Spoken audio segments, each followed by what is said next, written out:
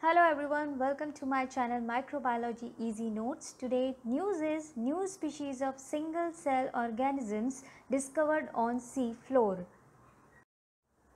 National Oceanography Center, the University of Hawaii and the University of Geneva run the joint project in the Pacific Ocean. During this project, they discovered two new genera and four new species of giant single-celled xenophyophores on Pacific floor. Xenophyophores are protozoans and an important part of the deep sea floor as they have been found in all four major ocean basins. They extract minerals from their surroundings and uses them to form an exoskeleton known as a test. They are often elaborate structure that can reach sizes of 4 inches or more. Specimens were collected during an expedition to the Western Clarion Clipperton Zone called CCZ aboard the RV Kilo Moana, Hawaii in 2018. Out of the two discovered genera, one genera is named Moanammina and other one named Abyssalia, inspired by the name Moana and abyssal habitat respectively.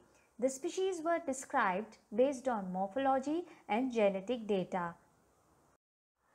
According to Andrew Gooday, who is professor at National Oceanography Center and lead author of the recently published findings, it seemed appropriate to name one after Moana, a Hawaiian word meaning ocean.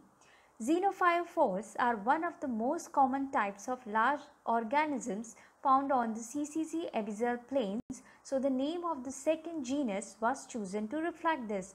Professor said, we were excited to find these beautiful new xenophyophores. Moana mina semicircularis species, the new species of the new genus, has a stalked and fan-shaped test. It is around 3 inches tall and 3 and 1 half inches wide.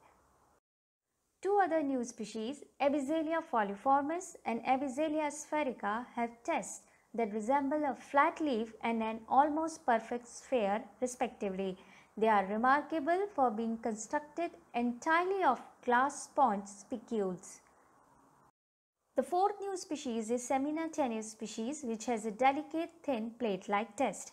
As per Professor Gooday, these four new species and two new genera have increased the number of described xenophyophores in the CCZ abyss to 17 with many more known but still undescribed.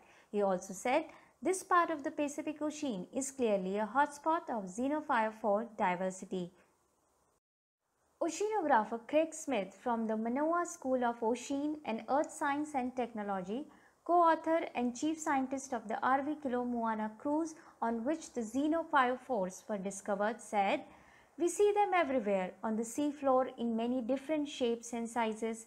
They clearly are very important members of the rich biological communities living in the CCZ. Among other things, they provide microhabitats and potential food sources for other organisms. We need to learn much more about the ecology these weird protozoans if we wish to fully understand how seafloor mining might impact these seafloor communities. In 2017, in the eastern CCZ, specimen genetically identical to Moanammina semicircularis was found. Thus, this study provided the first genetic confirmation of wide geographic ranges for an abyssal xenophyophore species.